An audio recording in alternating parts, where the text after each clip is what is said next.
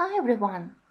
When I was coloring in Fairy Tales book by Selina Fenwick and I needed some inspiration for East of the Sun, West of the Moon fairy tale which I hadn't read, I found some very interesting book illustrators and I decided to create a couple of my videos in my series What Inspires Me and the first one will be about Mercer Mayer.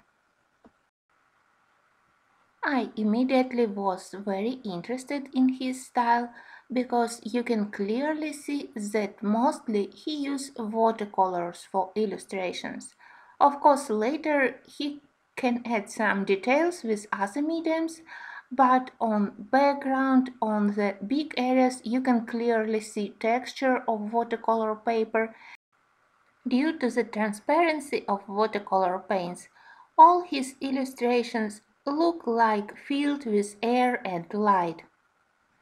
Probably Mercer Mayer is the most famous for his book series which he um, wrote and illustrated Little Critters and Little Monsters, which he created during the later stages of his career. But I was much more interested in illustrations to the classical fairy tales which he created during the earlier stages.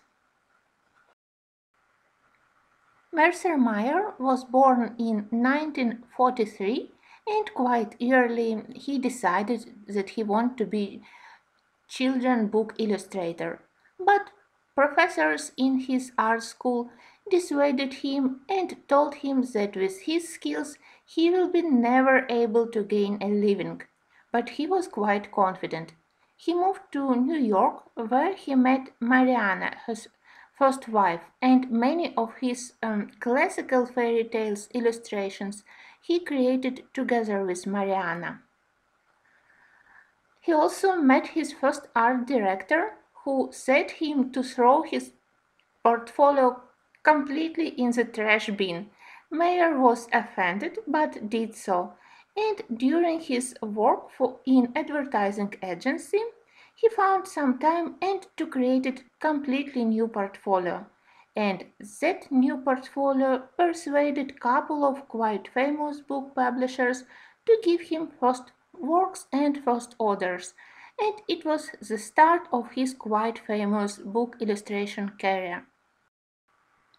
Personally, I find the story quite interesting and instructive. It clearly tells us that if you're sure if in, in what you want to do, you should never give up. For me, it was quite interesting to get some ideas from his illustrations, how he attract attention to the main character with color and with more details comparing to the uh, colors of and details of the background, also how he used contrast between cold and warm colors. Look at this picture, how skillfully with color contrast of the background and main characters he attract attention to the central part of the image.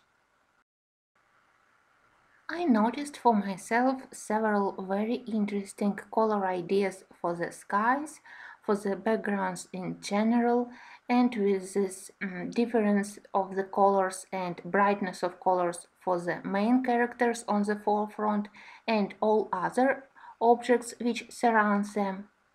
Next fairy tale is Shibumi and the Kite Maker and here you can clearly see that background is less detailed and it has softer shapes and all main characters are outlined in harder lines and more detailed.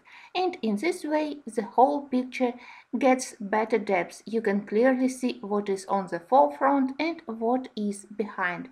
Also very interesting idea. I hope that you will enjoy illustrations by Mercer Mayer, you can visit his site dedicated to his illustrations and his other site dedicated to Little Critters books.